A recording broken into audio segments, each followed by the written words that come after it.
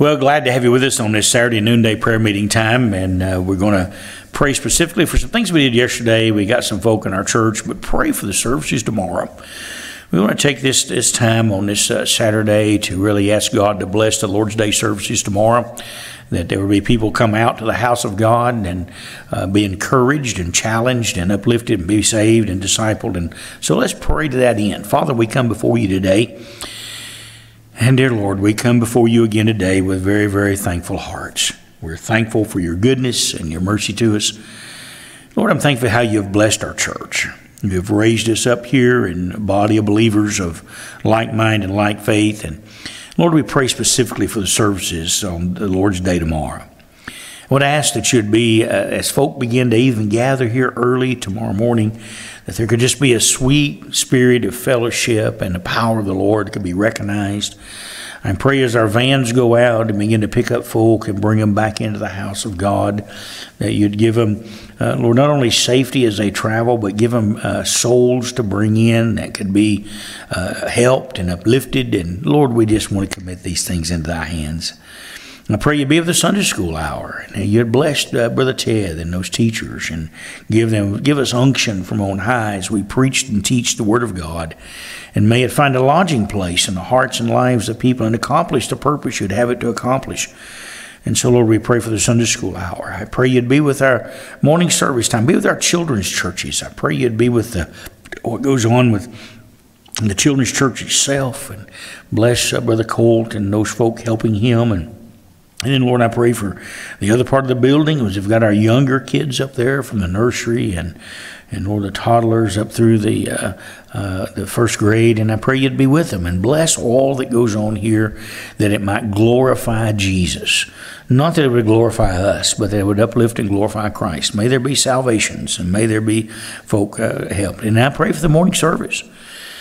Lord, that you will bless Brother Larry and our choir and our singing and our fellowship together. And Lord, use the message to accomplish the purpose in each one of our lives that would draw us closer to Christ. And so we pray for tomorrow.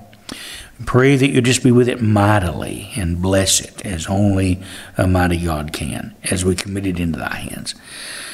Father, we pray for our missionaries. We've prayed earnestly and are praying earnestly for what's going on, Brother Mayer and Brother Aniel in the Ukraine. We pray for those dear folk again today that you would just uh, uh, strengthen them and help them. There's so much death and destruction and devastation that's been brought upon them by a wicked enemy. And I pray you'd work in their behalf and help them, Father. Strengthen them. Give other nations the courage to do what needs to be done to help these people that are seemingly defenseless. And I pray you'd help us in that.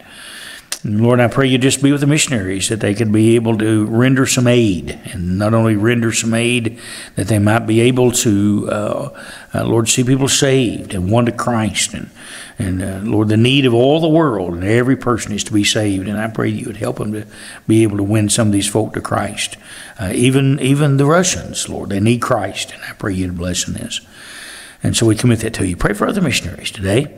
I know there are other missionaries around the world, and they are uh, trying to serve you, and I pray you just be with them and help them. And then, Father, we've, uh, we, we have a number of folk that we've prayed for for a while. I pray that you would just uh, continue to uh, be with them and touch their bodies. I pray, Brother Raymond Webb, you just lift him up. Sister Willie Long, and lift her up, Lord. And Sister Kay Selby and Brother Paul, and help them to continue to be strengthened to be able to come back to the house of the Lord. And I pray, Brother Larry, Miss Rita Chambers, and you'd strengthen both them. Touch Miss Rita she's taken a fall and help her, Lord. And I pray for Brother uh, Charles, Miss June Wetzel, that you'll lift them up and strengthen them. And uh, Lord, strengthen her bodies. Pray for my mother, that you just lift her up and strengthen her as well. And Lord, we, uh, we commit these folk to you, asking that you would help them uh, Lord, they might recover. I pray for Sister Diana Maynard. And you lift up Sister Diana and Sister Rita Sherrill. You lift up Sister Rita and touch her body. And uh, uh, Lord, strengthen her. I pray for uh, Brother Jeff Turner and uh, Brother Ted Woody, both these men with blood clots, and pray you just continue to help them to heal well and to be able to go forward. And uh, Lord, we we uh, we do commit them into Thy hands, asking you to help them. And Lord, we have. Uh, Lord, no doubt, some other folk uh, that are uh, beds of illness that we pray for, that you just strengthen them. I do pray, Brother Fred Ward and Miss Rita, that you'd touch their bodies and lift them up. And Lord, I pray that You'd be with Don and Judy Bookman in the homegoing of their daughter and just strengthen them, Lord.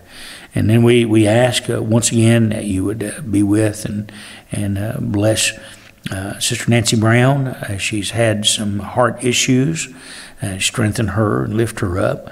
Pray for Susan Lister that you'd touch Miss Susan. I pray you would be with uh, Lord uh, Sister uh, Betty Davis and give wisdom with this. And pray for Ike Warner that's in the hospital, and also uh, for uh, John Garland.